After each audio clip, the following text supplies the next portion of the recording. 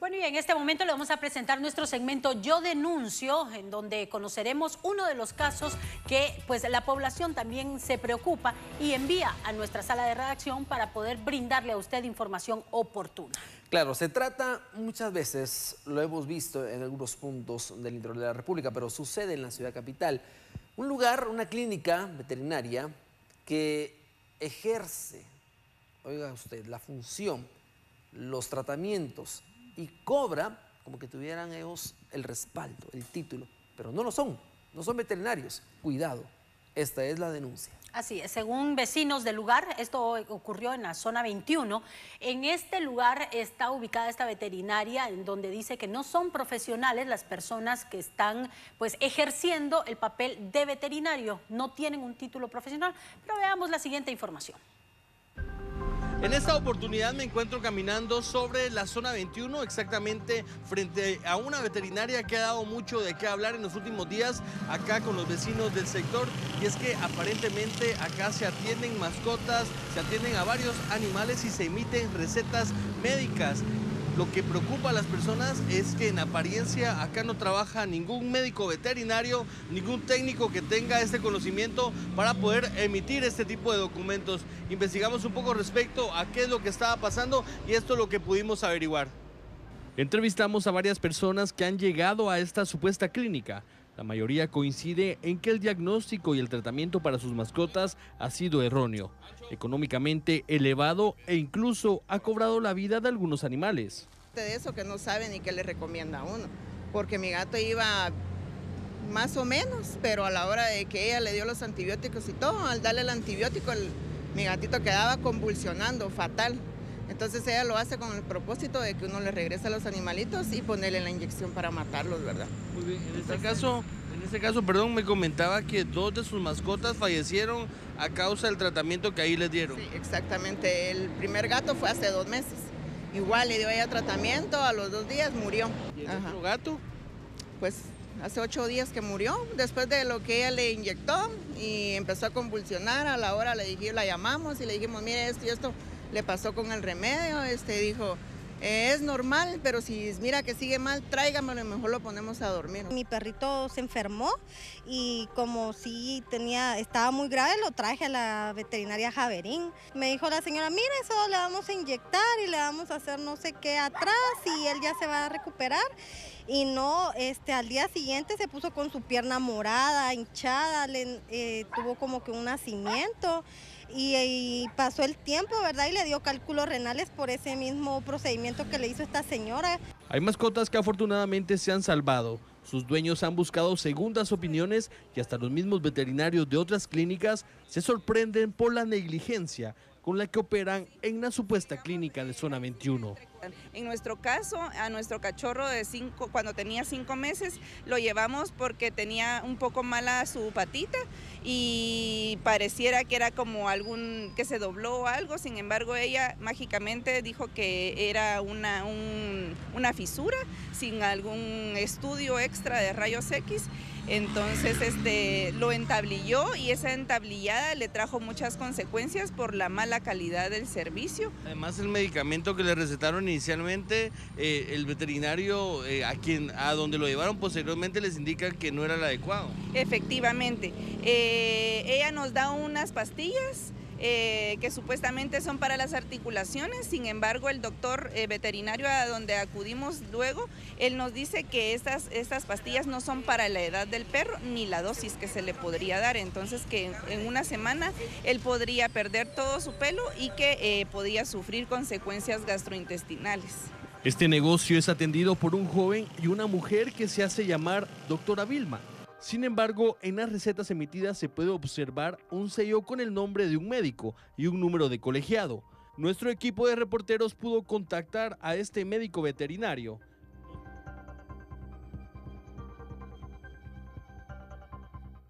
Estas personas y se mostró sorprendido al ver que estaban utilizando su sello y su número de colegiado. En cámara, Henry Ávila reportó Alfredo Mendoza.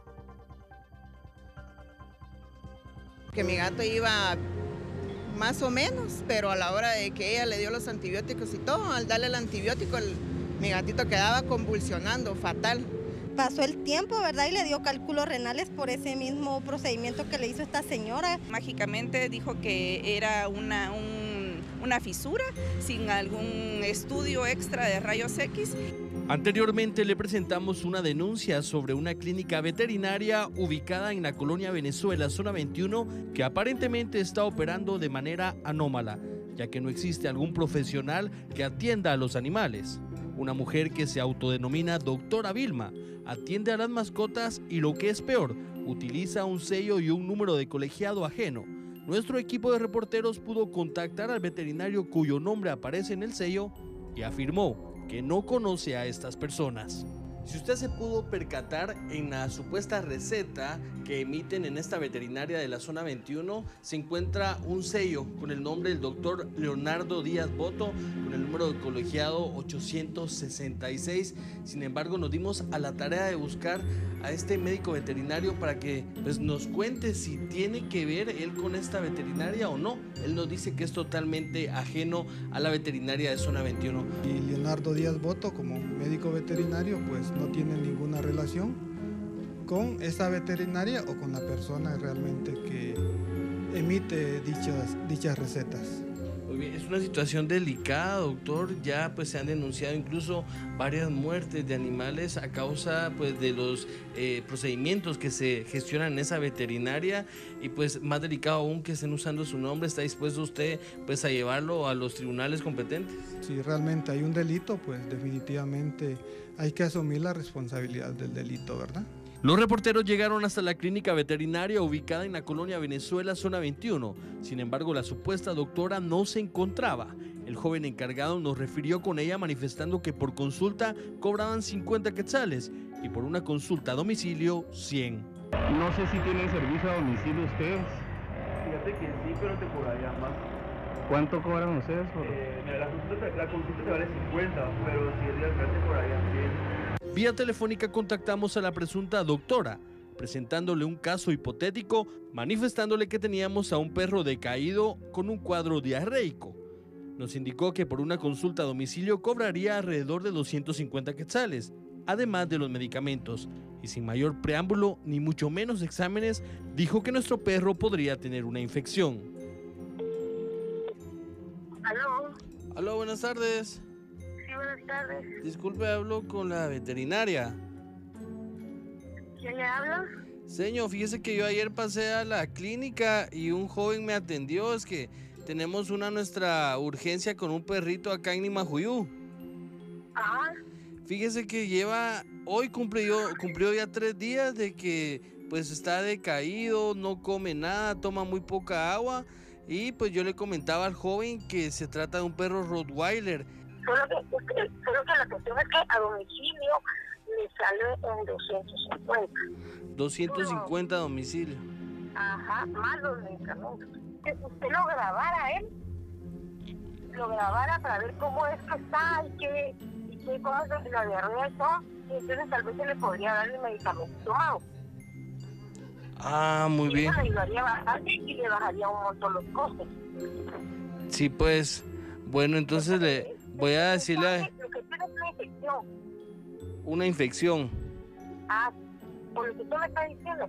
Hay que tipo de infección es. Lo que pasa es que como ya es un perro grande, se puede complicar. Los afectados y vecinos de la zona 21 piden a las autoridades correspondientes tomar cartas en el asunto y cerrar de forma inmediata este negocio. Los animales están respaldados plenamente por el decreto 5-2017, la ley de protección animal.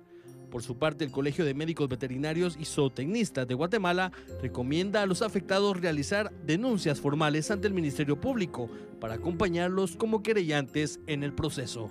Con imágenes de Henry Ávila reportó Alfredo Mendoza.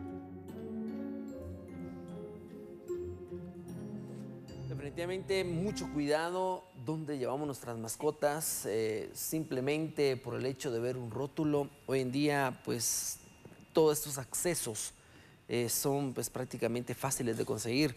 Lamentablemente usted tiene que pedir la garantía de que realmente sean médicos, sean veterinarios eh, con profesionalismo, con acreditación y sobre todo con experiencia. No podemos definitivamente poner la vida de una mascota querida en manos de una persona empírica. Al final de cuentas las mascotas son parte de la familia. Claro. Y tenemos que cuidarlas y darles el mismo amor. Y con el mismo amor deben de ser atendidas, tienen que ser profesionales, con un título, graduados, quienes son... eh, son médicos, ellos son médicos, Claro. solo que veterinarios, especialistas en animales, y es por ello que tenemos que nosotros asegurarnos que estamos llevando al lugar correcto con la persona correcta a nuestra mascota.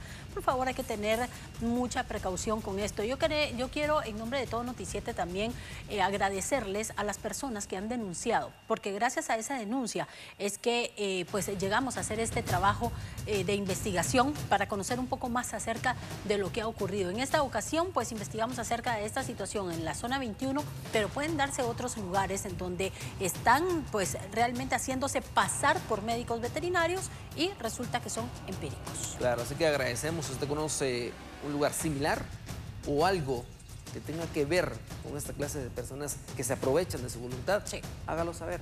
Nosotros, con gusto, enviamos el equipo de investigación periodística de noticias.